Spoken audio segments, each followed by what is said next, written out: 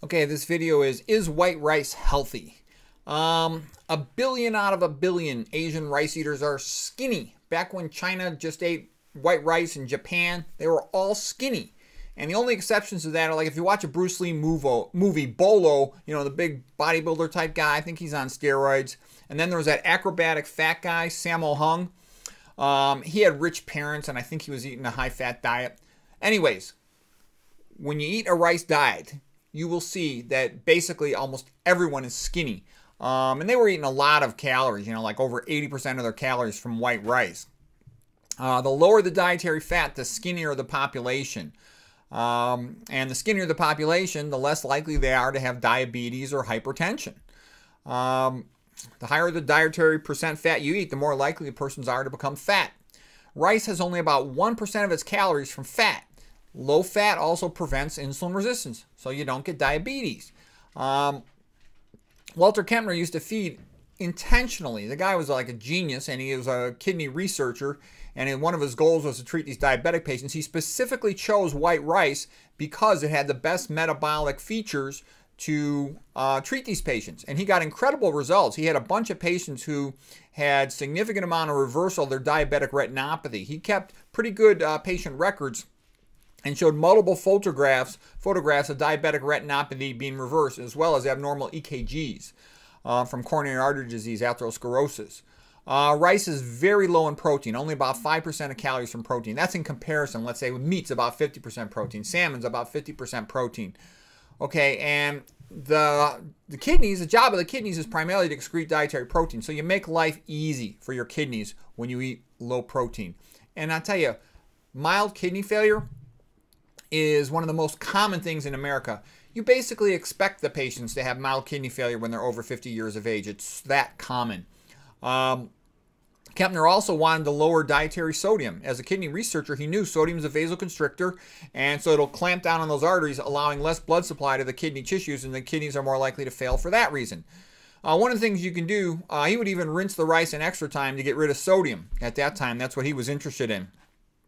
Um, he felt too the protein in rice was perfect, really low, but with enough variety of amino acids that a person would get everything they needed in terms of the good stuff, but not be burdened with extra unnecessary protein. Back in the 1950s, 60s, and 70s, when the Japanese ate a diet based on white rice, they were some of the longest lived people in the world. And that's despite the fact they smoked a ton of cigarettes. They smoked a lot more than Americans, and they had a very high sodium diet. Despite that, they had really long lives. Um, Japanese smokers, they also had much less lung cancer than American smokers.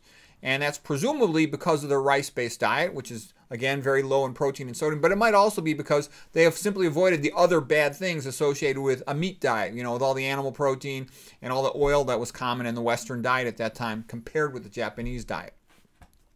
By avoiding obesity and diabetes. Diabetes, by the way, is thought to be the number one cause of disease uh, in the United States in terms of morbidity, you know, destroying the eyes, the kidneys, the arteries in the heart, the arteries in the feet, the arteries in the brain. Diabetes is a disaster. You don't want diabetes. You know, the typical diabetic I talk to is cognitively impaired. Oh, I'm doing all right. Everything's under control. It's being managed. Yeah, right. That's why they're cognitively impaired. Diabetics do not do well. It's funny. I asked, uh, you know, I, have I talked to a lot of neurologists. So the first neurologist, I ask them, what's the most common cause of stroke? They go, oh, it's diabetes.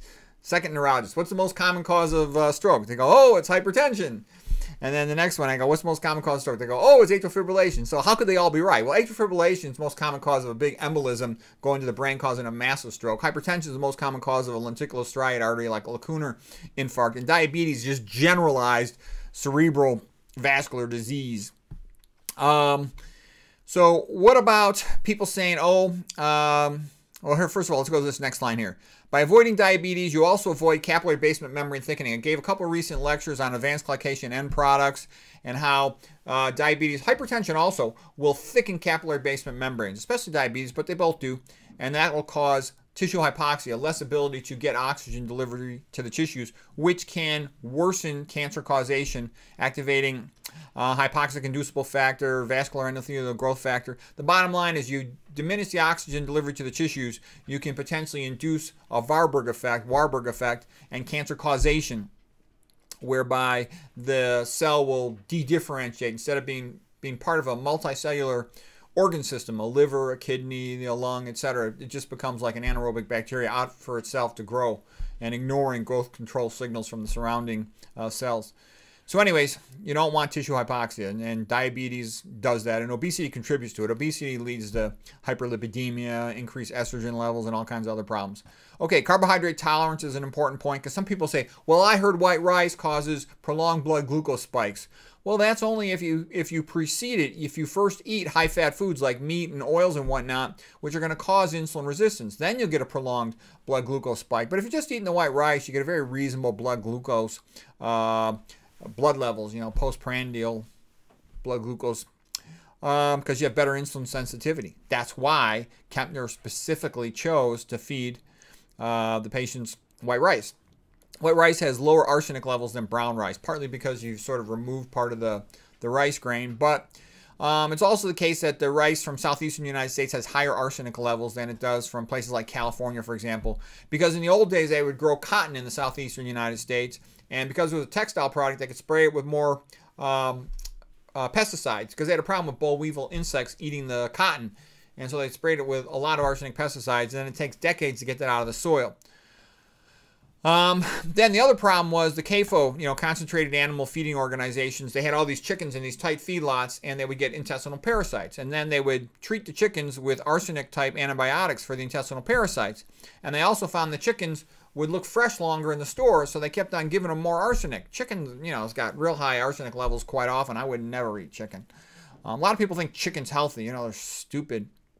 Typical stupid person I know thinks that chicken and rice are good for you. No, they're both terrible foods. Chicken, I sorry, not not rice, chicken and fish. They're, chicken and fish are both terrible foods. Mediterranean diet is a terrible diet.